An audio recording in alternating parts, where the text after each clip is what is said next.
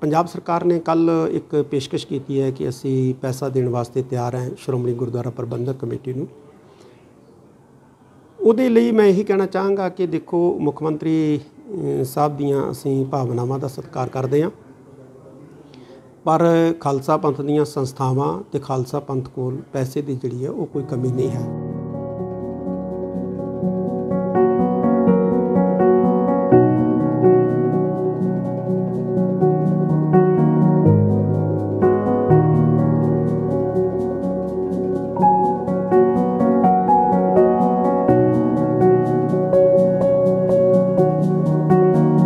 ਅੱਜ ਸ੍ਰੀ ਅਕਾਲ ਤਖਤ ਸਾਹਿਬ ਵੱਲੋਂ ਸ਼੍ਰੋਮਣੀ ਗੁਰਦੁਆਰਾ ਪ੍ਰਬੰਧਕ ਕਮੇਟੀ ਨੂੰ ਲਿਖਤੀ ਤੌਰ ਦੇ ਉੱਤੇ ਇਹ ਗੱਲ ਕਹੀ ਗਈ ਹੈ ਸਾਡੇ ਵੱਲੋਂ ਕਿ ਸ਼੍ਰੋਮਣੀ ਗੁਰਦੁਆਰਾ ਪ੍ਰਬੰਧਕ ਕਮੇਟੀ ਆਪਣਾ ਚੈਨਲ ਜਿਹੜਾ ਹੈ ਉਹ ਆਪ ਤਿਆਰ ਕਰੇ ਲਾਂਚ ਕਰੇ।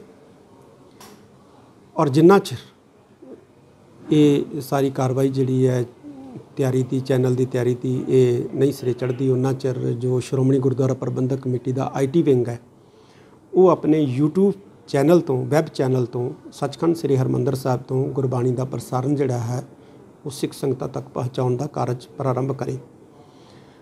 ਉਹਦੇ ਲਈ ਇੱਕ ਹਫ਼ਤੇ ਦਾ ਸਮਾਂ ਜਿਹੜਾ ਹੈ, ਉਹ ਇਹਨਾਂ ਨੇ ਕਿਹਾ ਕਿ ਸਾਨੂੰ ਲੱਗੇਗਾ ਕਿ ਸਮਾਨ ਵਗੈਰਾ ਖਰੀਦਣਾ ਹੈ, ਕੈਮਰੇ ਖਰੀਦਣੇ ਨੇ, ਵਾਇਰਸ ਖਰੀਦਣੀਆਂ ਨੇ। ਤੇ ਪੰਜਾਬ ਸਰਕਾਰ ਨੇ ਕੱਲ ਇੱਕ ਪੇਸ਼ਕਸ਼ ਕੀਤੀ ਹੈ ਕਿ ਅਸੀਂ ਪੈਸਾ ਦੇਣ ਵਾਸਤੇ ਤਿਆਰ ਹਾਂ ਸ਼੍ਰੋਮਣੀ ਗੁਰਦੁਆਰਾ ਪ੍ਰਬੰਧਕ ਕਮੇਟੀ ਨੂੰ। ਉਹਦੇ ਲਈ ਮੈਂ ਇਹੀ ਕਹਿਣਾ ਚਾਹਾਂਗਾ ਕਿ ਦੇਖੋ, ਮੁੱਖ ਮੰਤਰੀ ਸਾਹਿਬ ਦੀਆਂ ਅਸੀਂ ਭਾਵਨਾਵਾਂ ਦਾ ਸਤਿਕਾਰ ਕਰਦੇ ਹਾਂ। ਪਰ ਖਾਲਸਾ ਪੰਥ ਦੀਆਂ ਸੰਸਥਾਵਾਂ ਤੇ ਖਾਲਸਾ ਪੰਥ ਕੋਲ ਪੈਸੇ ਦੀ ਜਿਹੜੀ ਹੈ, ਉਹ ਕੋਈ ਕਮੀ ਨਹੀਂ ਹੈ। ਸਮੱਸਿਆ ਪੈਸਾ ਨਹੀਂ ਹੈ। ਸਮੱਸਿਆ ਜਿਹੜੀਆਂ ਮਨਜ਼ੂਰੀਆਂ ਵਗੈਰਾ, ਜਿਹੜੀਆਂ ਭਾਰਤ ਸਰਕਾਰ ਦੀ ਸੂਚਨਾ ਪ੍ਰਸਾਰਣ ਮੰਤਰਾਲੇ ਵੱਲੋਂ ਹੁੰਦੀਆਂ ਨੇ, ਉਹ ਹੈ।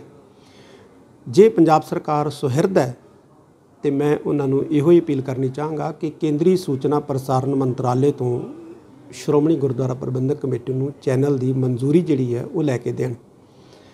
ਤੇ ਅਸੀਂ ਉਸ ਚੈਨਲ ਦੇ ਮਾਧਿਅਮ ਰਾਹੀਂ ਜਿੱਥੇ ਅਸੀਂ ਸੱਚਖੰਡ ਸ੍ਰੀ ਹਰਮੰਦਰ ਸਾਹਿਬ, ਸ੍ਰੀ ਦਰਬਾਰ ਸਾਹਿਬ ਦਾ ਗੁਰਬਾਣੀ ਪ੍ਰਸਾਰਣ ਸੰਗਤਾਂ ਤੱਕ ਪਹੁੰਚਾ ਸਕੀਏ, ਉੱਥੇ ਧਾਰਮਿਕ ਸਰਗਰਮੀਆਂ ਜਿਹੜੀਆਂ ਸਾਡੀਆਂ ਹੁੰਦੀਆਂ ਨੇ, ਭਾਰਤ ਦੇ ਅੰਦਰ ਜਾਂ ਭਾਰਤ ਤੋਂ ਬਾਹਰ, ਉਹ ਅਸੀਂ ਸੰਗਤ ਦੇ ਵਿੱਚ ਪਹੁੰਚਾ ਸਕੀਏ ਔਰ ਖਾਸ ਤੌਰ ਦੇ ਉੱਤੇ ਅਸੀਂ ਚਾਹਾਂਗੇ ਕਿ 6 ਜੂਨ ਦਾ ਜਿਹੜਾ ਸਾਡਾ ਕੱਲੂਕਾਰੇ ਦਾ ਦਿਵਸ ਹੈ, ਉਹ ਵੀ ਅਸੀਂ ਆਪਣੇ ਚੈਨਲ ਦੇ ਮਾਧਿਅਮ ਰਾਹੀਂ ਦੁਨੀਆ ਦੇ ਕੋਨੇ-ਕੋਨੇ ਤੇ ਜਿਹੜਾ ਉਹ ਪਹੁੰਚਾ ਸਕੀਏ।